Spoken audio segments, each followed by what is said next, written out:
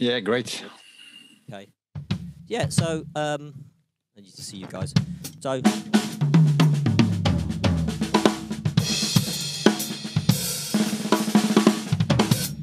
Hopefully that all sounds all right. Yeah.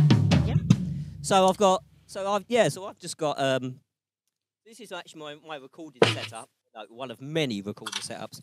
So I just worked out a way of actually streaming it into my software and then put it into OBS, which then goes into Zoom. So you've basically got all the separate mics plus overheads.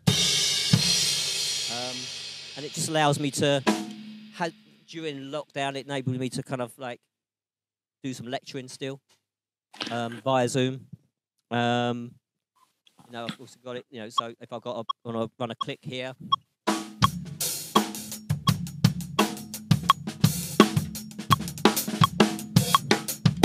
etc., etc. You know, so Sounds great. The the sound is really good. Yeah, really good. d- despite the playing, the sound is really good. Yeah.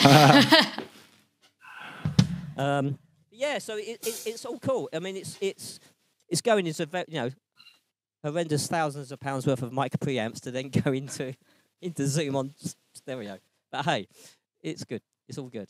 you know, I mean, it's that the drums sound really good coming out this end. So Good. That's, So are, are you are you all drum all, all your drums are mic'd up? You've got uh, mics on the toms, overheads. Can you describe your, your microphone setup a little bit? yeah. So so the kick drum, kick drum. Uh, at the minute, the flavour of this this next few months is a Beta 52 inside the kick, Audix D6 on the outside on the porthole, and a, and a sub kick, my own made homemade sub kick. because I don't believe in the Yamaha ones. Let's don't even get started. Um, so my own Okay. sub kit. And then we've got um, just a good old 57 on the top of the snare. And Yeah. I've been using uh, a Rode NT5. Not all right. I don't- I don't like under snare mics. A Rode NT5, but it's kind of pointing at the bottom half of the shell. yeah, I can get sort of Okay. see it there. bit Yeah. So, you So can, can you just um, why why do you point it there? Because most drummers will have, will have it be below the snare drum. Yeah. Do you know why? Because bottom snare mics sound crap. And I refuse to give it to people. Okay, Of- okay. What it's just makes just makes your snare drum sound like a crisp packet. Why do you want Mhm. that? You know, come on. You just got to make it sound good. So, like, Okay. so it's, it's more snary. Um, Yeah. So that hence the reason for using a, a condenser mic. But the NT NT5s and the NT55s they really really take the SPLs really well, the high high sound pressure levels. Um, at the minute on the hi hats, I've got a 451B, the AKG. I used I sometimes use an SM7B, which is a very expensive dynamic mic. Mhm. Sometimes I might use a 57 if I want a bit more kind of middle presence. But Mhm. at the minute, that's just a 451B. Which Okay. Is, very brittle sounding, but perfect for hats. if you want Uh-huh. Tom mics, I'm always switching between good old 57s. I love 57s on Toms. hmm Uh, at the minute, I've got some Audix D2s and D4s.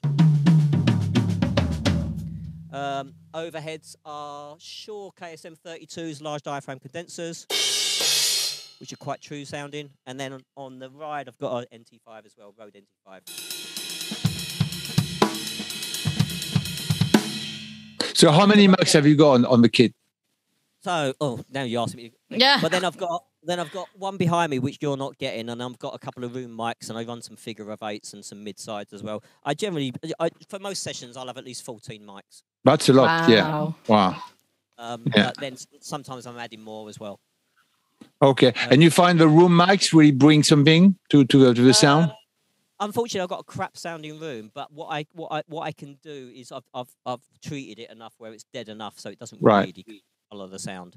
Um, Okay. And then, and then I'll use my 57. I've got a 57 up here behind, which is capturing the kit as an overall blend. I don't use the audio of that. I use that to feed a reverb. Uh-huh. Oh, I see. So it goes, so, so it goes pre-fader, and then that then just feeds the reverb. And that way, I can make the room sound like anywhere I want. Okay. Reverb. Nice. Um, Nice. Good then- idea. And then sometimes I'll lash up. Like these Nashville sessions I've just been doing. Like, like I decided to lash up a, a, a, figure of eight microphone with a cardioid, so I'm getting like mid-side recording, so I can actually give that pseudo kind of narrow. Okay. That's great. and room sound. Excellent.